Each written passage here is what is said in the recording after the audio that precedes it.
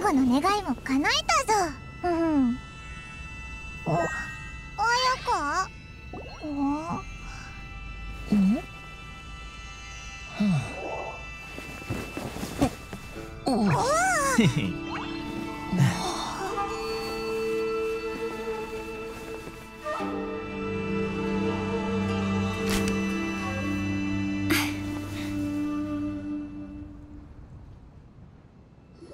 して会うのは初めてですね。旅人さんパイモンさんあなた方が友人たちを手伝ってくれたことはすでにお聞きしました。本当にお疲れ様でした。そうだぞ。神の目を取り戻さない限り何をやっても効果がない気が。えっとそういえば綾香。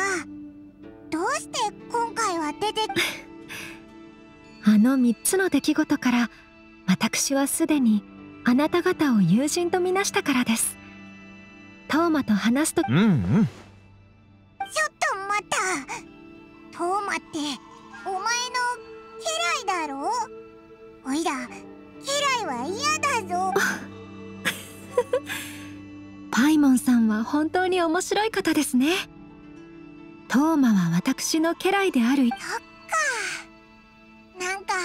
屏風の後ろから出てきた綾香。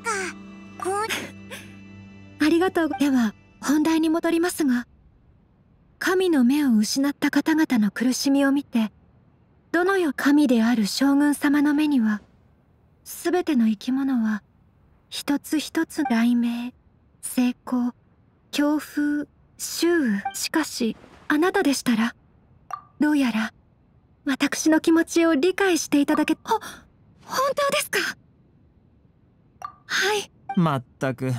お嬢にはかなわない。彼はそれらを放ってはおけないお方だと言ったではありません。ではこのことはご内密にお願いします。木漏れ茶屋に向かいましょう。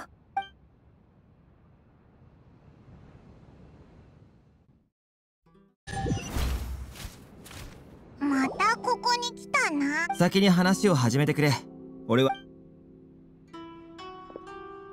ここは一体何のためのここはかつて将軍様から与えられたシャブ業の放置。シャブ業上里家のみこれらは全てシャブ業の祭祀事務の特殊性においら分かったぞ。神秘的な雰囲その後城内での祭祀が減ってからシャブ業の人間のみが自由に出入りできるこの茶室。気そっか。確かさてここでは自由に話すことができます。何かご質問？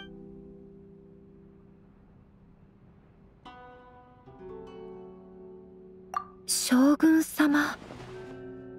私は将軍様とそれほど多くお会いした記憶ではとても威厳ある方で高貴で尊彼女には感情がほとんどなく統治者というよりも無情な執行者として。実はほとんどの方にとってメガリレーは自身と関係ないことなのです。神の目を持つ者はそれほど数が多くありません。そのため多くの民はそれそんな。しかし私たち以外にも遠方の渡積み抵抗軍はい神の目を失った者や産後宮に関しては彼女らの率いる抵抗軍もちろん試みました。彼らは無条件で将軍さそもそも。まだひおやパイモンさん。どうやってメガリレーに抵抗するんだ？正直まだ決まっています。おい！メガリレーに抵抗するということは神に抗うことにもなりじゃあじゃあ今のところ私たちにできるの例えば神の目の所有者を。神の目って偽物が作れるのか？花見坂の手芸職人の手にかかれば肉眼では見分けのつかない偽の神の目を作り出すことができます。しかし現在見つかっちゃったのか？はい。長期的な解決策ではなかったので見つかるのもし私もそう思います。しかし脱毛もちろんこのことを準備が整い次第花見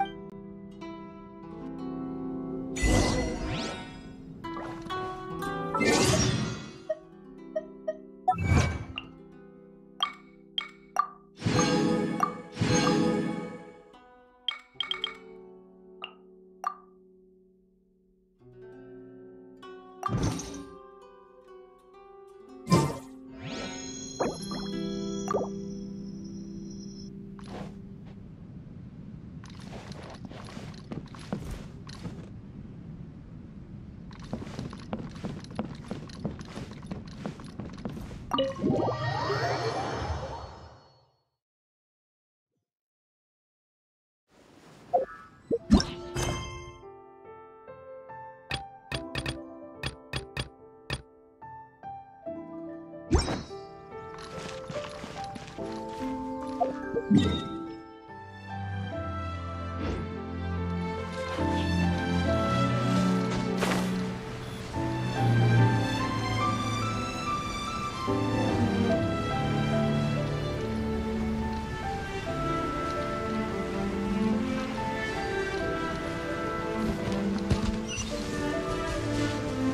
となしく私な。俺たちが手荒な真似をする前にな。元素力を使ってメガリレーに抵抗するんなら頭を冷やしてきた方がいいぜ。前にそうしたやつがどんな見逃してください！この神の目は手に入れたばかりなんで。ちょうど神の目の押収現場に出くわしたぞ。放ってはおけないよな。ちょいちょい。うん。あっちで。こっちこっち緊急事態なしー。見とけ。おいなんなんだよお前。自分に神の目がないからって。ってあれ？お前？しー。静かにしとけ。うちらまで見つかってまうやろ。わかりました。これでいいですか？ふ んそれでいいどうするんだよもううーいよいみやさんありがとうございます。さっき僕にくれた偽物がなければ気にせんといて。あんたも結構ええ演技してたで。そうだったのか。ええんや。あんたらのさっきの反応同じ立場におあ自己紹介がまだやったな。うちはよいみや。この長野原。花見坂でよいみやさんを知らない人はいませんよ夏祭りの女王とはまさに彼女のこと。彼女と彼女の花火がなければ鳴神すごい人なんだな。おいらも花火が大好きだ。そないなこと言われると照れるな半四郎。それとうちに礼を言うよりも正勝先生に感謝しいや。あん時うちの神の目も正勝先生の偽物を使うて守ったんやもし奪われてたら商売上がったりやったで。はあ。正勝先生は本当にいい方なのにどうして報われないのでしょう？正勝先なんや？ほんまか？白鷺の姫君が手配したもんやっせやけどいきなり無謀に突っ走っても上里さんに迷惑。うちもあんたらと一緒に行動させてくれへんか？綾香もオイラたちに長野原花火屋で助っ人に会ってほしいって言ってたんだ。どうやら宵宮のことだったみたいだな。どうやら店で神の命の所有者をかくまう以外にもついに他の役割が回ってきたっちゅうことやな。正勝先生は町奉行所に閉じ込められとる。あそこの周りはもううちが偵察したで。めっちゃええ潜入場所があんねん。宵宮は頼もしいな。お前に会えてよかったぜ。せやろ？準備ができたら出発するで。絶対に正勝先生を助けるで。助けるで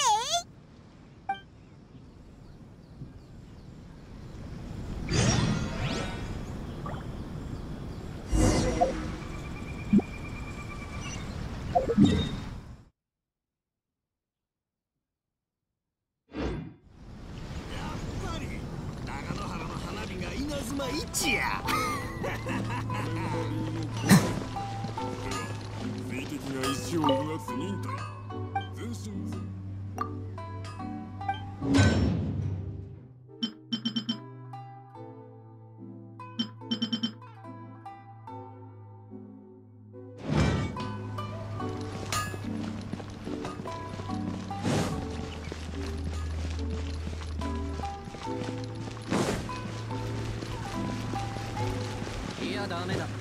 登場人物におかしな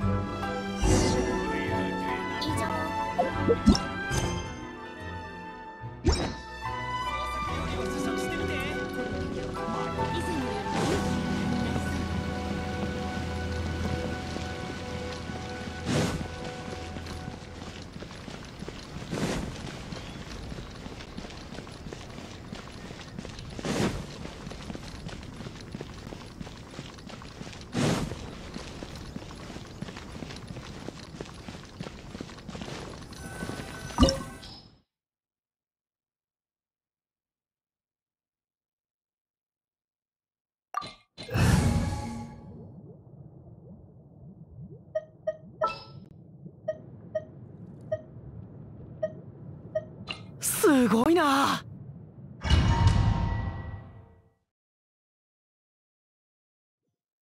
やっと入れたな。思ってた以上に不気味なところこっから入って正解やったな。あいつらの注意を引かずこんなとこに閉じ込められるんは怖いやろな。はよう正勝先生手分けして行動するで。おう。おうあんたらも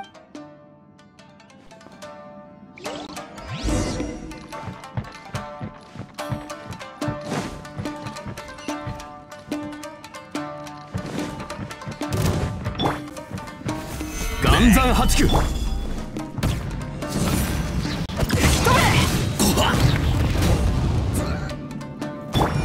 救急如律る。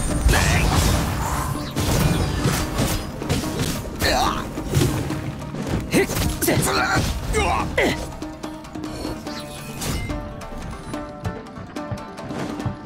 っかい扉だ。開けるには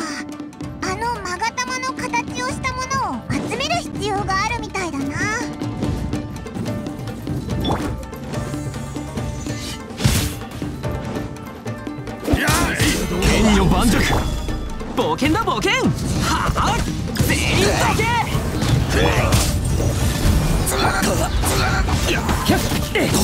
わめくがいいここだ。無能。ここだ。へっ。え知れ。難攻不落天に召せ我が命を聞きた。イェッヒャッ拙者を恐れてるのか？イェッはっえはっへっ拙者の負けだ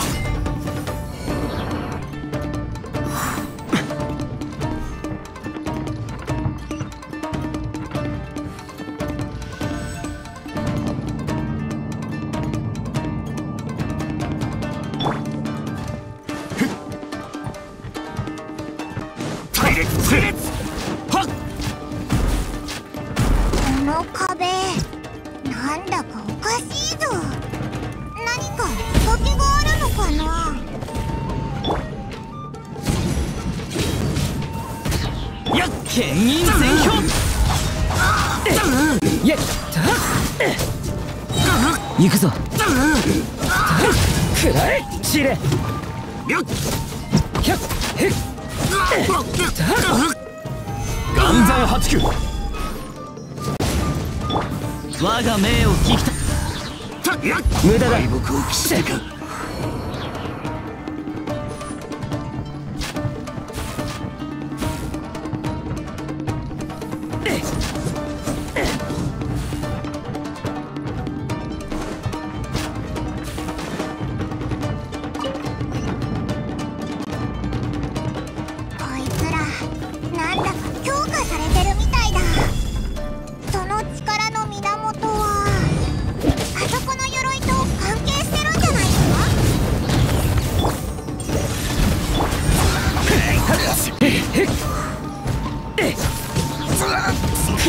逃がせ行くぞ。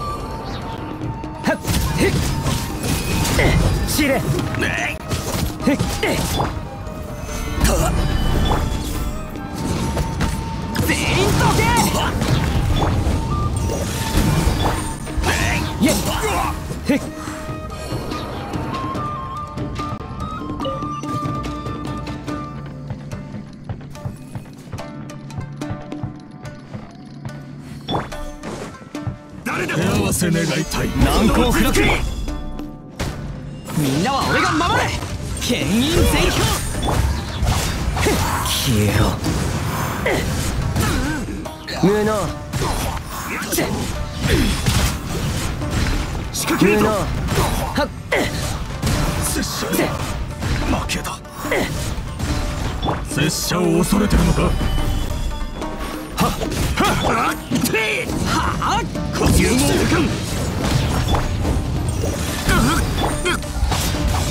やっ敗北くらえ西洋鍋正々堂々勝負せよ逃がさぬ知れ剣女盤石天に召せ我が命を聞きたまくくだらない修練か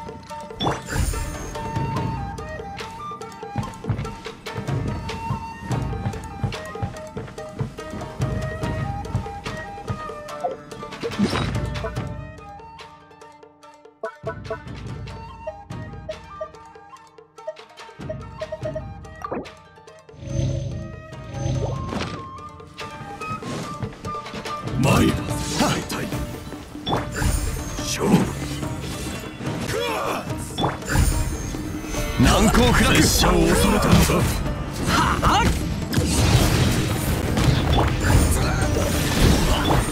くだらないいえへっ。わめくがいい無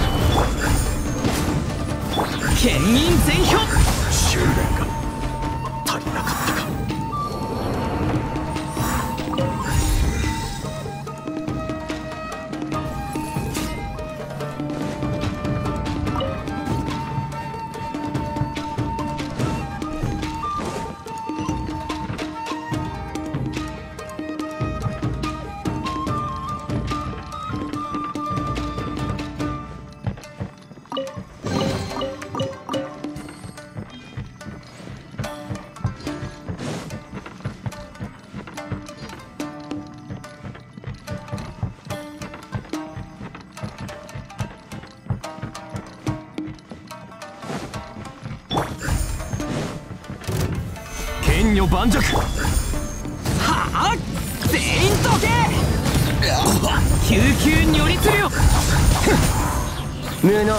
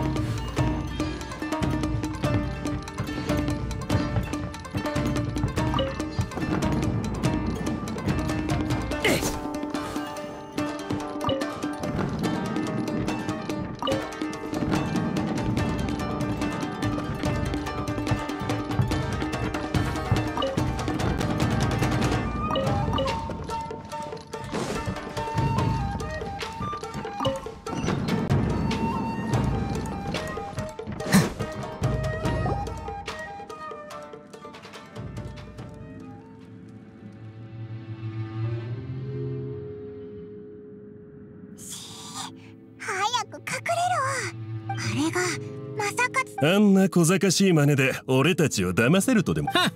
東国だけで済むと思う。畜生。天領奉行のやつら。早くどうにかして助け出さないと。おれよいみや。お前いつの間に。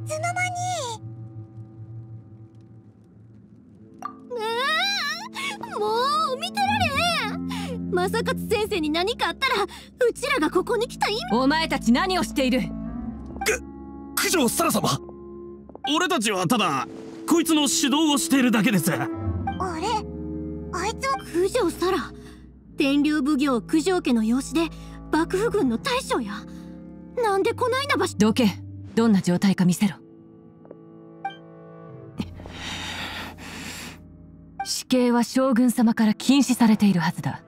知らないわけ。存じておりますもし自分たちのやったことに恥を感じていないのであれば天領奉行の配下としてふさわしくない。申し訳ございません九条様。威厳のある人だな。あいつらの注意力が正勝先生からそれとる。今が好機かもしれんで。おいよいみや。あ待てそこに誰か。お前たち見に行け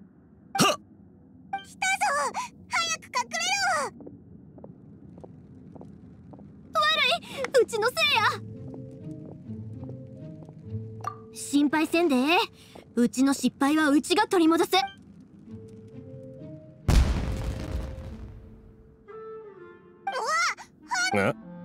ああそこで何か爆発。まさか。花火？見に行くぞ。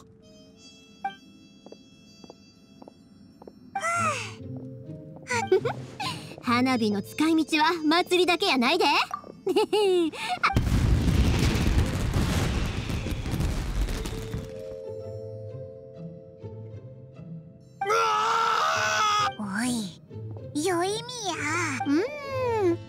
ちも職人やさかい無意識のうちにちょもうあっちに誰もいないみ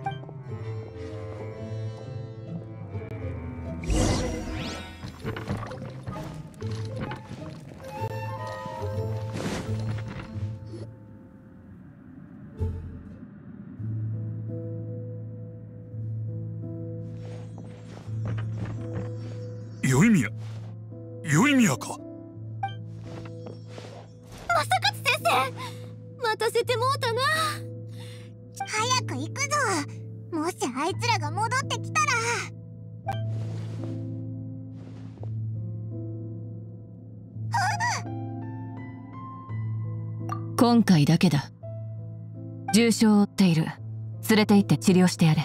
だが治療が終わり次第必ずもう一。次はそう簡単にいかんと思うで。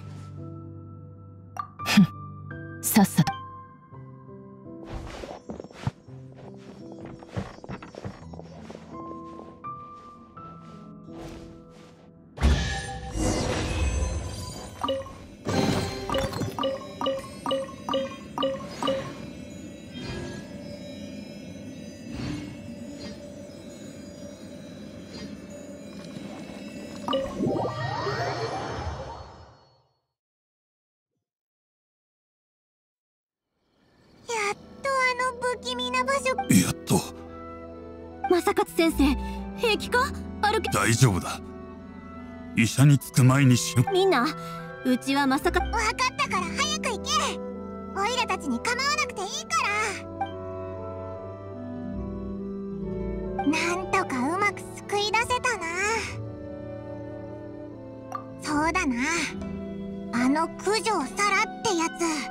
天領奉行にもいいやつよし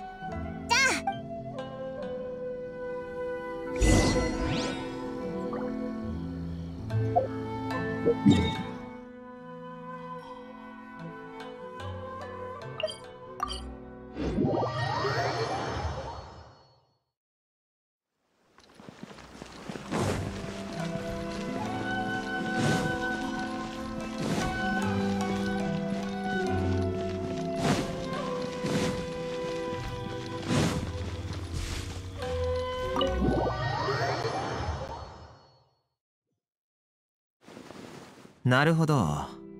九条サラは君たちに手を出さなかったと。彼女と接触を試みより多くの情報を聞き出せないだろうか。それは難しいと思い九条サラはメガリレーの執行者。彼女は将軍様の命令正勝先生がメガリレーに直接脅威をもたらす存在ではないと判断ししかし私たちの身分があらわに。ごもっとも。しかし正勝先生を救い出せた今今回は宵宮と旅人のおかげ。君は俺が思っている以上に。確かに。旅人さんの助けがしかしメガリレーに抵抗するには今後の計画を準備。そんなに心配しなくても少なくとも今は全ていい方向。にそういえば天領奉行がちそれで町にいるメガリレーの武士が減ったのは確か。儀式。俺にもわからないが俺たちとは関係。そうですね確かずっと気を張っていても疲れがたまるだけでしトーマ。何ちょうど。祝賀会を行おうと実は最近新しい鍋遊鍋遊び？簡単に言えばか目を閉じて鍋から食正解した場合。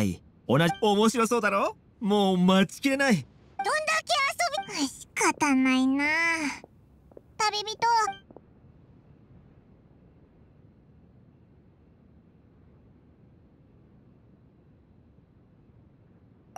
どれどれ？鬼ヤバな絶雲の唐辛子。超しょっぱい。なんかお腹が痛い。胃の中で。まさかトーマが一番得点を取るなんて。塩漬け青魚。熟していないスミレウリ。なんだか走馬灯が全部トーマがご自身で入れでもあやか鍋ケーキごごめんなさい。もっと美味しくなると思いまして。ダメだ。少し休ませてくれ。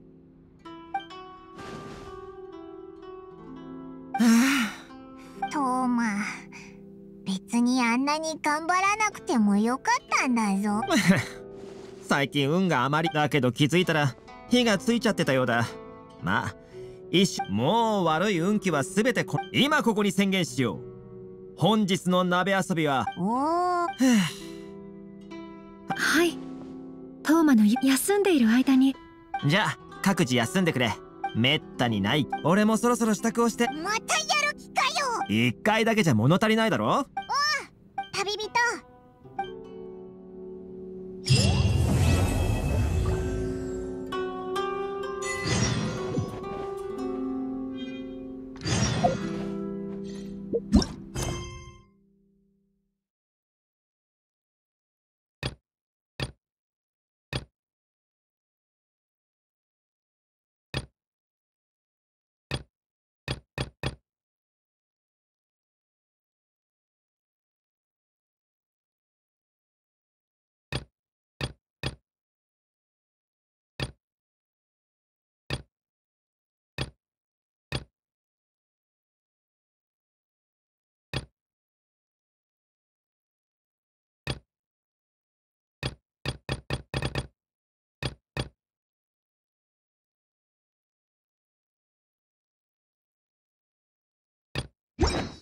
こんな風に暇をもてあそぶことになるとは。笑えるな。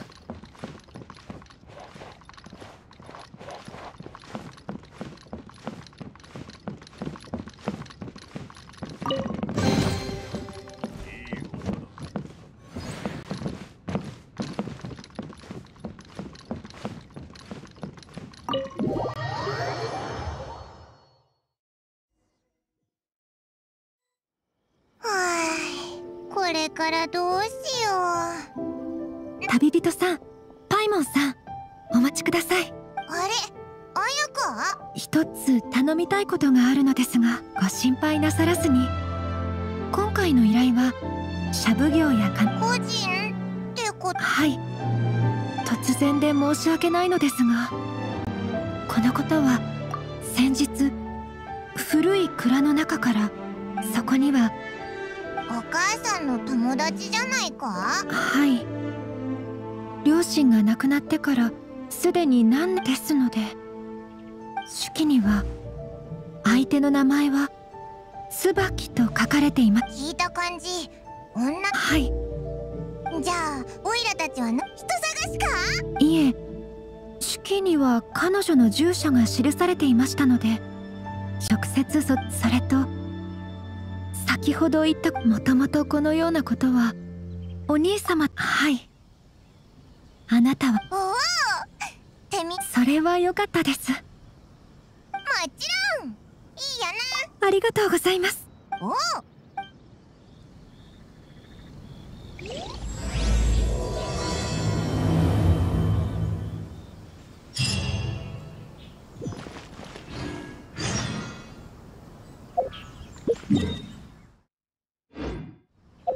Yeah.